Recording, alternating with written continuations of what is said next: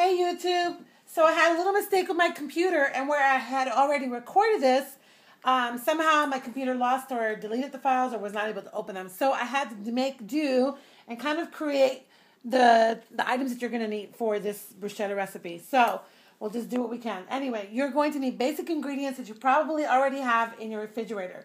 So we're going to need some um, 100% olive oil or light olive oil, whatever it is that you like. Olive oil is olive oil to me.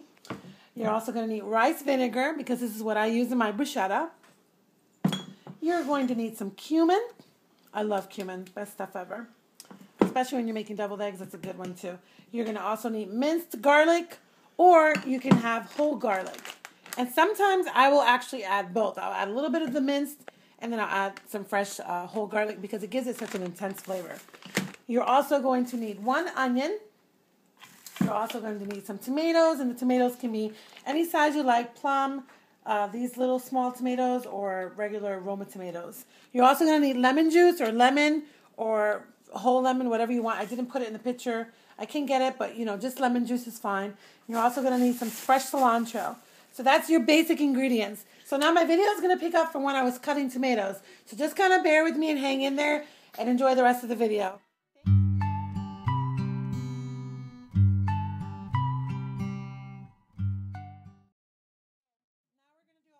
I rinsed it off, you know, the portion I'm going to use because I'm not going to use the entire bag. So I'm just going to finely chop my cilantro. And then I'm going to add it all into the rest of my mixture.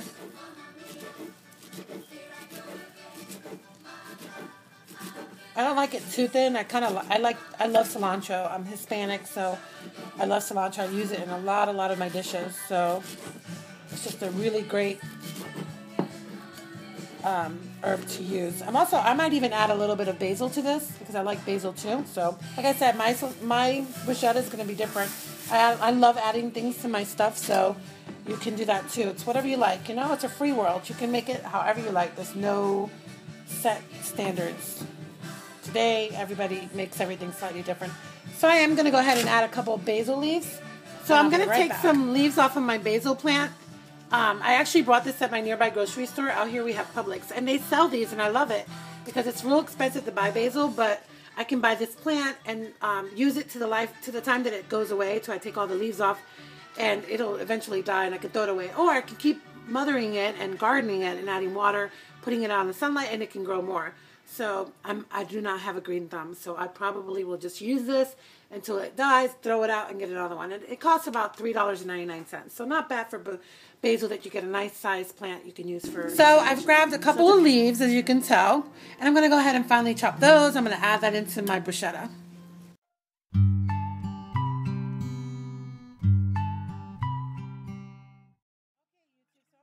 Now we're gonna we got all of our condiments all chopped up the way you like it. And don't mind the music in the background. I'm taking it old school. Back in the day, Mariah Carey was very popular, so I'm listening to the old school. Having some bruschetta and pasta seems very fitting. So anyway, we're gonna grab a spoon. And the ingredients are really gonna be to taste. That's just how my mother raised me to cook. Everything is to taste. I mean, we measure, but not on everything. When it comes to stuff like this, you're gonna just kind of want to use your common senses your common taste senses. Because you know how you like things so you pretty much can tell. If i put five things of garlic it's going to be too much garlic. So you want to start out with a few scoops or spoons and then i'm going to add some cumin because i love cumin. I don't know it just adds a nice flavor to the bruschetta and i'm just going to add what i like.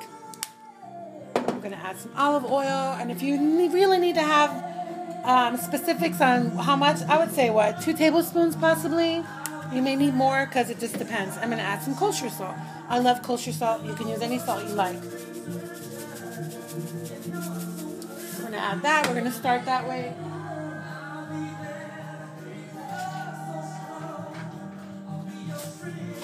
So you're going to go ahead and mix those ingredients together so far. Just evenly incorporate everything. Love hot sauce, so I'm in, I am going to add some hot sauce to my bruschetta. And the best hot sauce out there that I love that just I don't really like things that are spicy. I love things that have flavor and that really bring out the boost in your dishes. So I'm going to use my old time favorite Cholula hot sauce. I'm not going to put a lot. I'm just going to put a little bit, you know, because my kids don't like a lot of hot sauce. And I'm going to put a little, I'm going to say on this one a half a teaspoon of rice vinegar. If you've never had rice vinegar, I can't even describe it. It's really, really a nice, great flavor to vinegar. So I'm just going to add a little bit. I'm going to blend that all together. And then we're going to taste it and see how it tastes. See, I love bruschetta. I can eat this right out the bowl and I'll be happy with some crackers. Not crackers, but like Tostito chips too. I can eat it just like this, or I can have it on some bread. And lucky me, I made some homemade fresh Italian bread. And I just cut them last night, and, and I have appropriate appropriate sizes for this specific dish here. So I'm real excited. So we're gonna go ahead and try this. Now we have ABBA playing in the background. I loved her too. All right, let's see. Mmm. That tastes really nice. It's got a really, no, seriously. That tastes really good. I'm probably just to add a little bit more kosher salt. Just a little bit.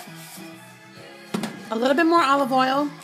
Because I really loved the flavor of olive oil. I'm just going to add just a little bit more cumin. You see, you just want to add what you like in it. This is really perfect, actually. Another thing of rice vinegar. I love rice vinegar. I know I said that, but I just really love it. And maybe a half a teaspoon of more garlic.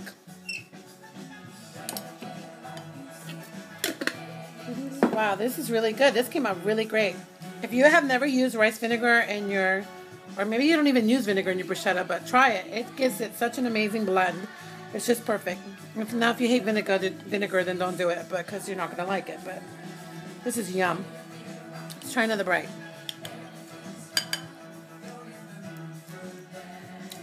Wow. Perfect.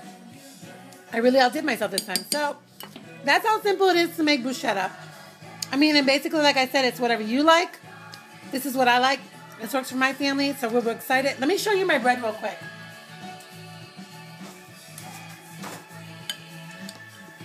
I've got my homemade my homemade Italian bread. And it's perfect because I just cut them yesterday, so this will be perfect. I'm going to toast this, put a nice layer of um, mozzarella cheese, and I'm going to cut into small slices, and then I'm going to top it off with some bruschetta and bake it in the oven at 350 for about 5 to 10 minutes or 10 minutes or so, and you're done. It's that easy. Anyway, enjoy the recipe. So I decided to go ahead and, you know, put a couple of, you know, slice a couple of pieces and um, show you this step because I thought mm, there might be somebody who's never done this step before. So you do want to thinly slice your mozzarella cheese or whatever cheese. If you're going to use bag cheese, which you can use bag cheese, I'm not, but I just wanted to throw that out there. You can if you want to. But I'm going to stick to the mozzarella because it's going to be nice and creamy and it's going to be awesome on this bread. So basically you want to cut it like I just showed you so. Take your bread and you're going to maybe even cut a little thinner. Oops, I just made a mess of that. Anyway, you're gonna kind of just layer your cheese however you want it. My some of my girls love cheese and some of my girls don't. You're gonna want to cover your bread like this and put it on a baking sheet. And you're gonna want to layer them on the baking sheet and fill up the entire baking sheet. Toast it in the oven, like I said, for five to ten minutes. And when it's done, I'm gonna come back and show you. So you just put the, you know, the bruschetta on top of the, the bread when it's already done and crispy. And then you serve it. That's it. That's how simple it is. So I just wanted to put that out there because I thought there might be somebody who might not know that one stuff. So that's for that's dedicated to the one person who doesn't know that stuff. All right.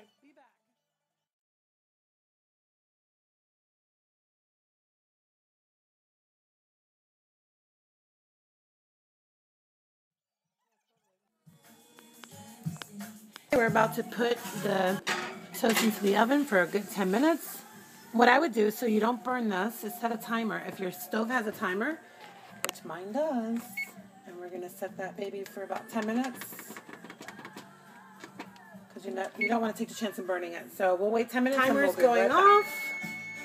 And here is my bread. We're going to get that out. And you see, you don't want to overcook it. Like, this is perfect, I think. And see how nice and crunchy. It's still smooth. It's got a nice little crunch. We're going to top it off with some bruschetta, and then it's going to be served for dinner. And that's it. So that's what you want, guys.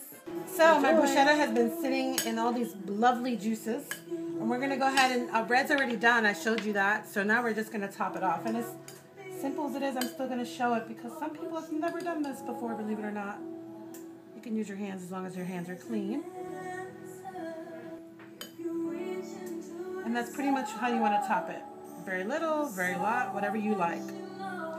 Just want to have a little bit of everything. And the juices, even if you have a little bit of the juice, what I do is sometimes I'll take the juice and I'll drop it on top, you know?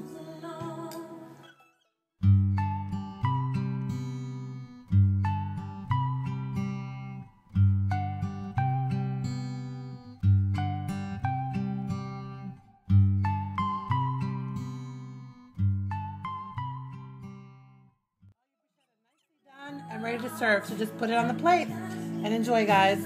Have a great day.